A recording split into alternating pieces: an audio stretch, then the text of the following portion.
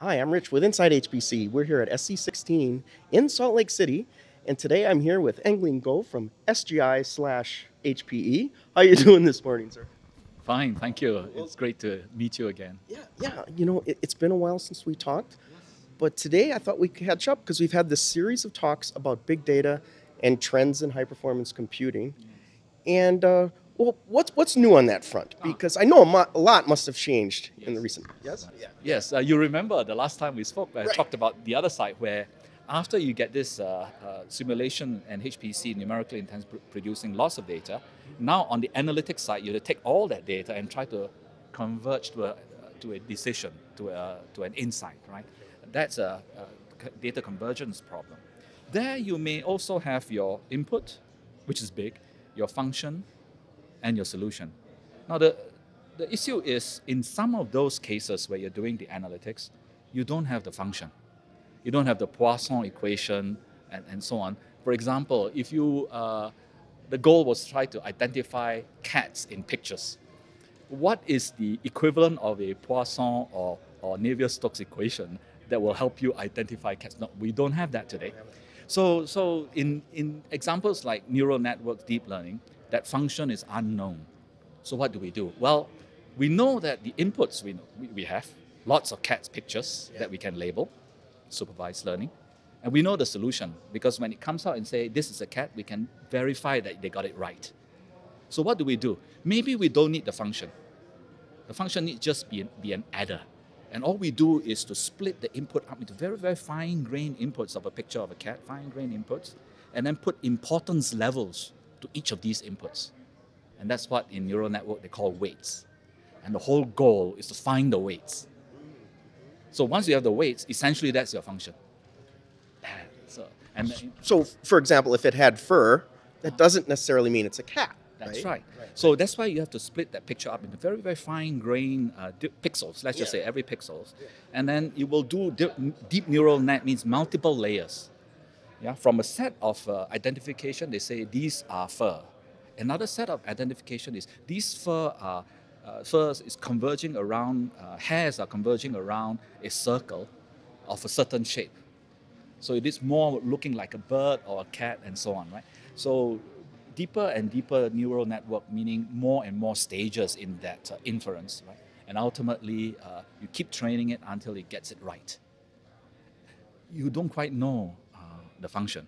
All you get is a, is a set of weights in a matrix or tensors. That's why they call it tensor processing.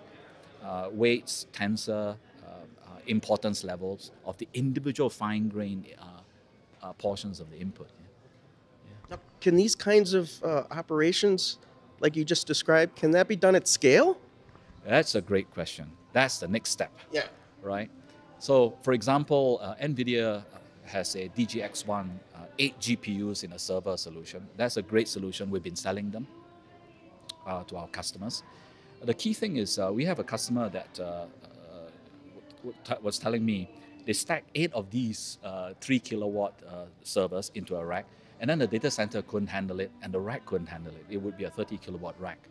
So what we did for that, and also for the Intel processor that's coming up that does this kind of work, not at 64-bit precision, double precision, not at uh, single precision, but also at half precision, right? Right. Uh, these two processors from NVIDIA and from Intel, we are building a rack at scale to be able to take up to 79 kilowatts of power, right? And they will take blades that will have these processors in them. So we will have a, a scenario where we would be reselling uh, these uh, what were almost looking like appliances that help the customers get started in machine learning, neural network, and in multi-level neural network deep, uh, uh, deep learning. And when they need to go into production and scale it, we'll bring in the ICE XA that can handle uh, these up to 79 kilowatts uh, of power to be able to then take these CPUs and GPUs, uh, GP GPUs, or CPUs that have uh, half precision, and scale them uh, inside our server. So almost like appliance to get the customer started, and uh, the ICE XA for scaling into production. Yeah. So in this case, power and cooling become the wall. We are back to the beginning again. there we go. We're back in the beginning again. Yeah. So you first need to have enough uh, uh, uh, uh, infrastructure that can have handle enough power, right? If you because you want to put lots of them in there. Why is uh, uh, training? Uh, why why do you need to scale training? Well, training can take days. Question is, does the customer want to bring it down to minutes? Are there customers that bring it down to seconds to be able to train quickly a new scenario and then infer quickly? Right? These are the kinds of things. When you need to get that kind of performance, you would go to that scaled uh, solution. Yes, and but once you do that, the next question is, uh, can you do it efficiently? Because I'm consuming too much power. Once you make it efficient, at the gigaflop per watt or number of uh, uh, uh, train instances per, per watt, right, in neural network, uh, the, the question is then, uh, once you, you gigaflops per watt or train instances per watt, you get that efficient. Next question is then, can I cool it efficiently? Not just run it efficiently, but can I cool it efficiently? And this is where the PUE uh, discussion uh, comes in, as we did uh, at the beginning of this interview. So, Eng Lim, it seems like this is the supercomputing that's all about AI, artificial intelligence, but that's not a new technology. It's been around for, for decades, Yes. right? Is this just a flash, or, or, or is this for real? I think I think it's uh, quite real, right? Uh, for two reasons. One, um, compute power has got powerful and low cost enough for us to be able to, to train to a degree that the infer, inference uh, is uh, is practical, right? So there's lots of compute power and lots of data handling. In fact, that's an even tougher problem. Uh, taking in massive amounts of data to be able to handle that amount of data uh, to do that training right? So that's the first thing, uh, and we are we are there today, right? Today with uh, GP GPUs and the new processor from Intel, right? At, at the precision uh, that is just good enough, right? Uh, half precision. The other area that I believe uh, is is emerging, and, and the scientists and engineers are thinking seriously about, is as follows. In the old days, we're talking hundreds of years ago, uh, scientists have a theory, and then they run experiments as the big, uh, big foundation of theory to verify that the uh, experiment to verify that the theory is correct, right? And then decades ago, we came up with uh, computers that could do the simulation to verify that the theory is correct or incorrect, right? And simulation, the HPC industry can be proud of themselves to have brought up simulation to a level that, in, in some cases, has taken over experiment in verification, right? Like uh, virtual prototyping of, of an aircraft uh, without ever having to build a first uh, a physical prototype. The first aircraft built is a, is a production aircraft, right? So, so the HPC industry can be proud of bringing simulation in some instances to the level of, uh, of experiment. So that's the uh, tripartite, right? Theory verified by experiment, theory verified by uh, simulation. Oh, by the way, uh, uh, there are some cases where uh, experiment is still paramount, like Nobel prizes. I heard, uh, you know, I, I learned recently that uh, no matter how well believed by your peers your theory are, even if simulation proved you right, uh, you won't be, uh, you won't get your Nobel Prize until an experiment's proved you right. Yeah. Anyway, I digressed. So there's this there's this uh, uh, triangle, right? I, but I believe there is a, third uh, foundation coming up, and that's inference. Inference from machine learning, right? Why I say that? Well, the customers I talk to are starting to to think perhaps if my input function and solution and all the equations I've been using here is starting to get a bit too complex because of different mu- multidiscipline, too complex. Can I then use the inference approach, machine learning approach, and infer the solution?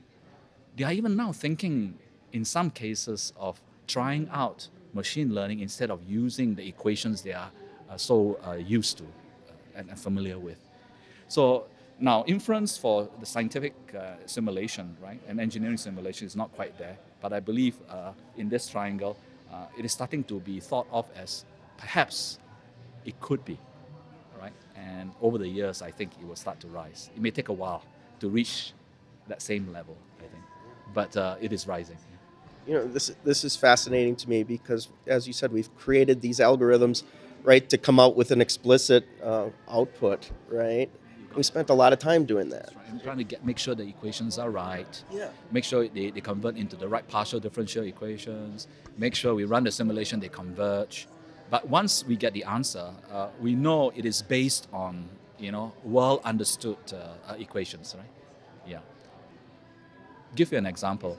When Google AlphaGo uh, AI software recently won over the world top Go player, uh, the developer of AlphaGo was interviewed, right? And he was asked this question Why did AlphaGo make this particular move that won the game?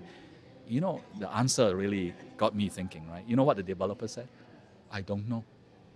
he didn't know He didn't know how it came to that conclusion Yeah, right, because uh, the machine has, has gone way past us. We developed it to learn. It kept on learning on its own, right? Yeah. We, of course, controlled the, the inputs and it learned through supervised learning, but we also gave it reinforcement learning where we took two instances of the AI software and, and uh, worked on each other. And then after some time, it has just gone past us. So all you end up with in the end is a set of weights, and and and the weights just tells you whatever inputs set of inputs comes in. This one more important, this one less, and so on, right? And we don't quite uh, know that as according to the developer, I don't quite know why it made that move. So it makes you think. It- really does because I- I think about the first time I talked to anybody about artificial intelligence was a, a NASA language called CLIPS, and it was all explicit and it was about rules, right? It's a knowledge base. So Yeah. yeah, in AI software in the early uh, a few decades ago when it got started, uh, the focus was on expert systems and rules. Essentially, what it means rules based. If you want to emulate uh, uh, an expert that can make decisions based on what he or she, she sees, he or she uh, he or she sees. You you are you interview that expert and say why do you make this decision? If you see this, do this. If you see that, do that, and so on. Then you write that all down and you write your if if statements, right? And that becomes your, your expert system. That was a rule based system. In this uh, new, uh, or rather newly emerging, re emerging uh, way of doing uh, AI, right? Uh, it is based on inference after learning.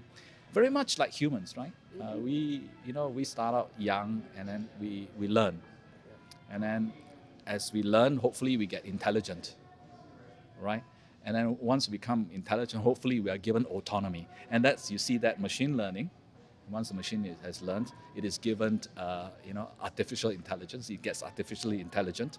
And then once it's artificially intelligent, you give it uh, autonomy, like an autonomous vehicle, right? So very much like humans, yeah. But the thing is, as we take uh, to, to, to, to co- complete college, right? How many years do we need? Uh, uh, uh, 6 plus 4, 10, 12, 15, I don't know, 15, 20 years uh, plus postgraduate degree. Yep. Learning is a long process. Same way, machine learning is a long process.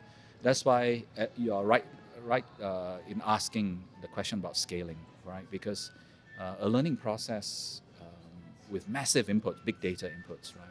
Uh, like not just 100 pictures of cats, but millions, 10 million, 100 million pictures of cats, say, right? Right? You are talking um, days, right, to learn. But if you need that learning to be quick, imagine, you know, someone in grade school go in and five minutes later he graduates, right? He or she graduates, right? Uh, you scale. Uh, you can't really scale humans that way, right? But uh, machine you can scale, and that's uh, our job? Well, Eng Lim, this is you know fascinating. I love to keep talking about it, especially about the cars and everything that are coming. But maybe we should revisit that in about six months. What do you say? yeah, we, we keep uh, getting updated uh, every six months and see where the trends are going, and uh, whether whether we have to correct ourselves if we you know it's hard to predict things or that uh, we reinforce what we said before because uh, oh we realize that he has now gone into production for example